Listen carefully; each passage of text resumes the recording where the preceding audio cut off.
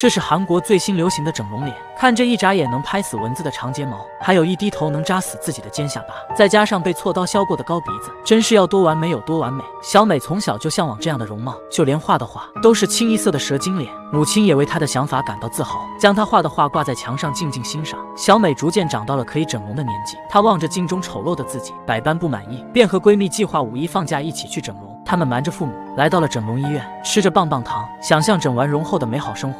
很快就轮到了小美。小美走进一个房间，院长问她想整成什么样子。小美拿出了自己的画册，上面有她画的梦想脸型。院长拿起来只是看了两眼，就丢回给小美，因为按照小美的想法来整容，需要非常昂贵的费用，她的零花钱根本不够。如果她实在要整的话，只能选择低几个档次的脸型。小美不能接受，失落的跑了出来。就连闺蜜问她怎么了，她也只是沉默不语，独自离开了医院。回到家，小梅满脸的委屈。原来她的母亲和姐姐都已经整成了蛇精脸，现在只剩自己还是普通人的模样。她向母亲透露了想要整容的想法，母亲却和她说，要整容的话就自己赚钱去整。小美不敢多说什么，姐姐向她投来了同情的眼光。这时爸爸回来了，仔细一看，爸爸竟也整了同款蛇精脸。他看出女儿的不开心，于是便问她怎么了。小美看到爸爸的模样，心里更不平衡了，于是一言不发的走开。她来到路边坐着发呆，耳边突然传来熟悉的声音，回头一看，竟然是整完容的闺蜜。小美的内心突然有种被全世界抛弃的感觉。